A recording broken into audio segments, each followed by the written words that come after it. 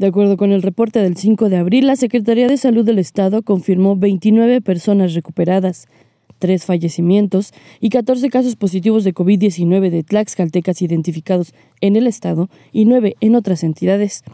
De esta manera, el Estado registra 12.098 personas recuperadas, 17.064 casos positivos y 2.288 fallecimientos. La dependencia informó que de las defunciones, una se registró en el ISTE y corresponde a un hombre de 55 años sin ninguna comorbilidad.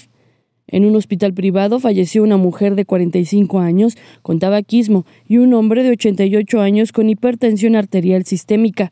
El Estado registra hasta este momento 34.106 casos negativos y 5.771 se encuentran en espera de resultado.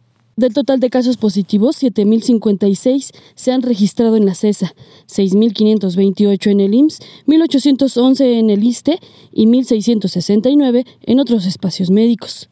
Mientras del total de fallecimientos, 751 se han registrado en la CESA, 1.076 en el IMSS, 403 en el ISTE, 12 en otras instituciones, uno en domicilio particular y 35 en hospital privado.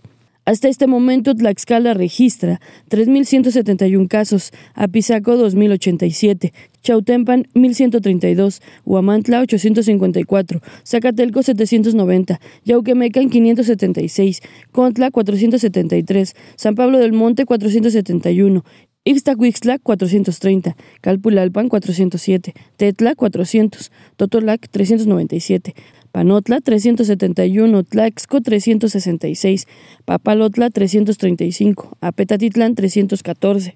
Santa Cruz Tlaxcala 305, Zompantepec 296, Teolocholco 274, Xalostoc 273, Tepeyanco 215, Nativitas 203, Amajac 190, Xicotzinco 184, Taltelulco 167, Tepetitla 152, Xaltocan 139, Tenancingo 130, Nanacamilpa 110, Terrenate 107, Tetlatlauca 104, Ayometla 98, Hueyotlipa 97, Tetlanoca 93, Ixtenco 81, Acuamanala y Tequesquitla 79, Cuajomulco y Nopalucan 78, Huaxinco 75, Tocatlán 72, Ashocomanitla 69, Coapiaxtla 65, Zacualpan 58, Xiloxostla 54, Alzayanca 53, San José Teacalco 50, Atlangatepec 48, Citlaltepec 47, Texoloc 46, Sanctorum 43,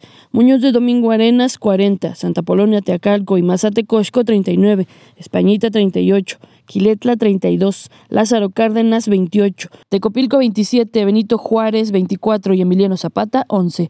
Con información de la redacción, ahora noticias.